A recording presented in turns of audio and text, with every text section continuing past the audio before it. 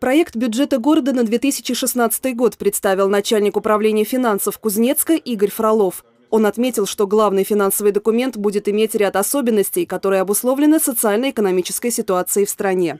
Все текущие расходы, кроме заработной платы, теплоэнергоресурсы и социальные выплаты сокращены на 10%. Городская казна в этот раз утверждена только на один год. Параметры бюджета позволяют называть его социально ориентированным. Доля расходов на содержание и развитие отрасли социально-культурной сферы в общем объеме составляет 79%.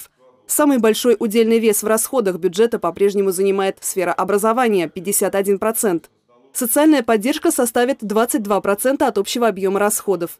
Впервые за несколько лет в бюджете Кузнецка скромно выглядят предстоящие расходы на капитальное строительство. На условиях софинансирования строительства сетей водоотведения КНС для перспективного участка микрорайона «Взлетный».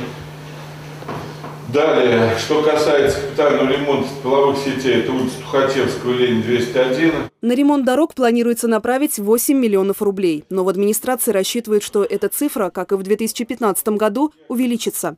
Сохранены все муниципальные целевые программы. В итоге большинством голосов депутаты утвердили предложенный проект городского бюджета.